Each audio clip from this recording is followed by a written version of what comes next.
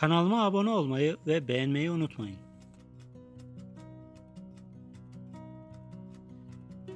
Özcan Deniz iddialı bir proje ile ekranlara dönmeye hazırlanıyor. Özcan Deniz'in yeni dizisinin konusu ve oyuncu kadrosu yavaş yavaş netleşmeye başladı.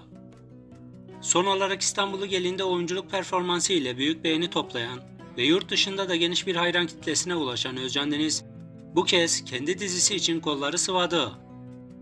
Senaristliğini ve yapımcılığını da üstlendiği Kral adlı dizi için ATV ile anlaşan ünlü oyuncu şimdiye kadar Ya Sonra, Su ve Ateş, Sevimli Tehlikeli ve Öteki Taraf gibi büyük ilgi gören filmlere imza atan Özcan Deniz bu kez ekranlara taşımaya hazırladığı yeni projesinde ise dayısının hayatını anlatacak.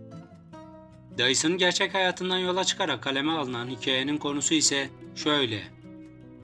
1970'li yıllarda 30 yaşında olan Kadir'in bir halk kahramanına dönüşmesi anlatılacak.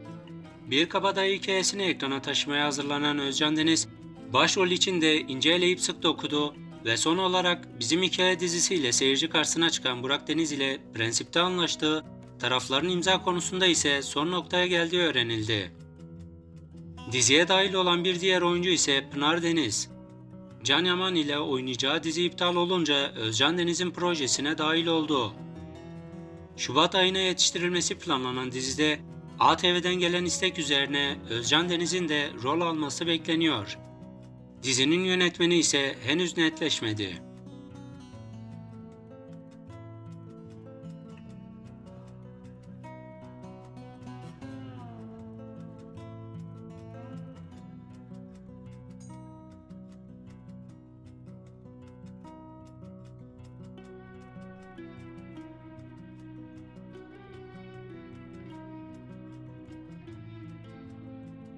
Kanalıma abone olmayı ve beğenmeyi unutmayın.